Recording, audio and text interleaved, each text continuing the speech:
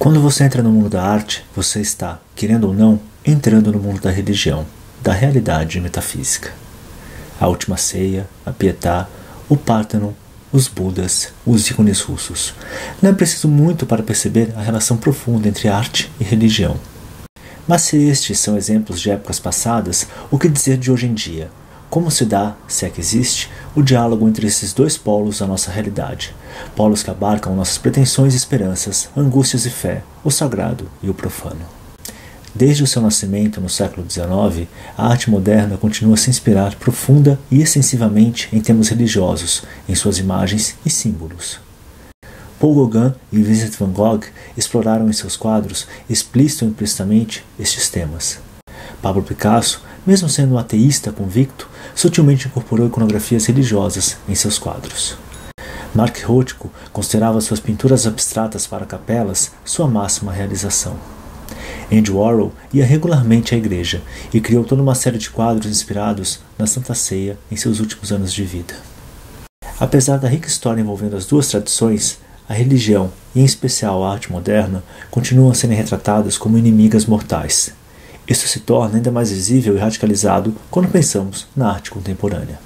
Se observarmos as notícias recorrentes, as movimentações das redes sociais, os palpites dos formadores de opinião de ambos os lados do espectro político, podemos imaginar que a arte e a religião caminham para uma ruptura definitiva, para um apocalipse artístico e imaginativo. Pensar e retratar os artistas contemporâneos como ímpios degenerados, preocupados apenas em ofender, é atraente e cria boas e velhas polêmicas, que geram manchetes, textões de Facebook, tweets neuróticos e, por fim, até mesmo a censura de exposições ou perseguição a artistas. Mas, por mais que isso seja o que vende, o que atrai as massas, essas polêmicas são apenas uma pequena parte da história. A arte contemporânea é bem mais do que um mero conflito entre facções e mesmo esses conflitos, por vezes, não são o que aparentam ser. Mesmo diante de obras polêmicas, vemos que, no fim das contas, quem sempre sairá perdendo é a arte e a religião. Políticos, palpiteiros, mesmo os museus e os artistas diretamente envolvidos, no final das contas, sempre ganham algo nessas discussões. Os políticos ganham projeção com os seus eleitores. Os palpiteiros ganham seu lugar de destaque como defensores da moral e dos bons costumes. Os museus, normalmente abandonados ou esquecidos pelo grande público, também ganham lá seu destaque, e muitos artistas veem suas obras polêmicas e, por vezes, verdadeiramente medíocres valorizadas no mercado da arte. Afinal, são eles perseguidos, censurados e representam o fim último da liberdade de expressão. A retórica combatível boçal que surge nessas horas, carregada de lugares comuns ideológicos, encobre e sufoca a verdadeira discussão que deveria ocorrer aquela que trata da relação daquela obra, daquele objeto de arte com o espectador, como aquela peça em especial dialoga com o nosso íntimo, como ela responde, inquieta, revela nossas dúvidas, nossa fé e nossa descrença. Além disso, essas obras nos ajudam a entender questões perenes da própria relação entre arte e religião. O que é o sagrado, o que é o profano? É possível acreditar em símbolos do passado em nossos dias? Qual a diferença entre desafiar a tradição e rejeitá-la?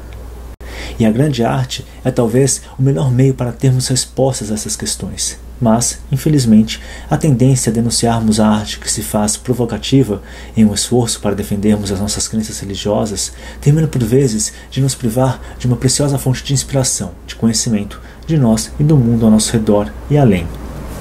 Sim, existem artistas que estão aí apenas para chocar e provocar, mas se abrirmos os olhos, veremos que eles são poucos. Artistas contemporâneos que pensam e estudam seriamente as tradições religiosas e seus temas, suas instituições e a herança cultural são a ampla maioria, e, além disso, são extremamente interessantes e com uma gramática artística ampla, rica e surpreendente.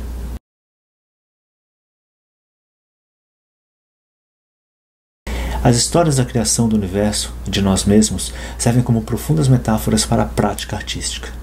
Nos capítulos iniciais do Gênesis, Deus olha para sua criação e diz: é bom. Assim como o artista admira sua obra no final da última pincelada.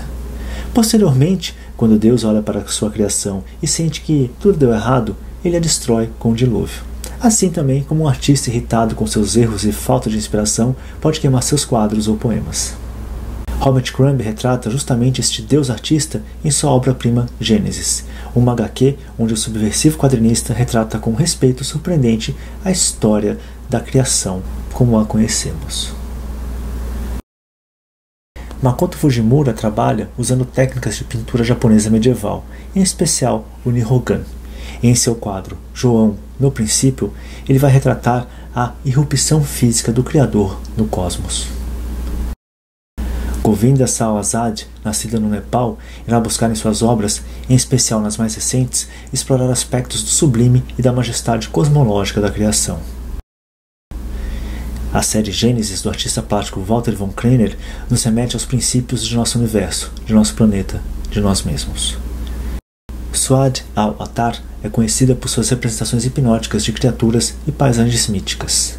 O trabalho dela está enraizado nas tradições visuais do Oriente Médio, incluindo o design islâmico e os antigos relevos da escultura assíria. O Jardim do Éden de 1993 nos remete ao idílico paraíso a que todos sonhamos voltar um dia.